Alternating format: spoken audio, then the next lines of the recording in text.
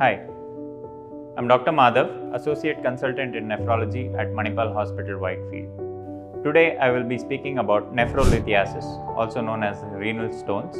This is a commonly seen condition but often frequently misunderstood.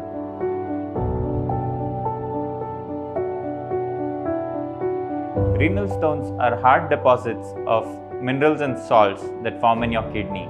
These can deposit in any form of your urinary tract from the kidney to the ureter to the urinary bladder.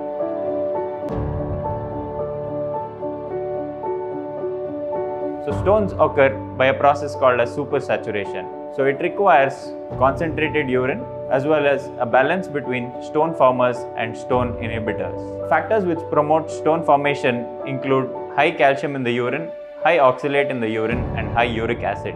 Whereas stone inhibitors include citrate. So if there is a low urinary citrate, then there is lesser inhibition for stone formation.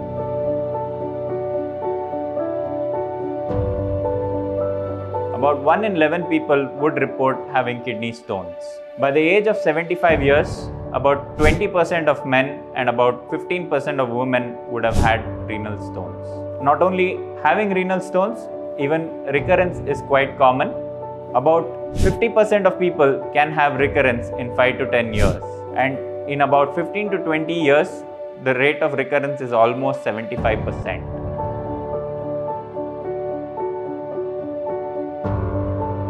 So majority of the stones are calcium stones, which is about 70 to 80%, which can either be calcium oxalate or calcium phosphorus stones. Uric acid stones account for about 8%, struvite stones account for about 1 to 5%, and cystine stones are less than 1% and other stones are also less than 1%.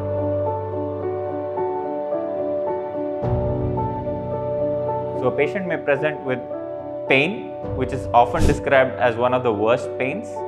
This may be intermittent, that is, it might come and go. It might be radiating from the loin to the groin, that is, from the back to the pelvis. Apart from this, patients may also have blood in their urine, nausea, vomiting.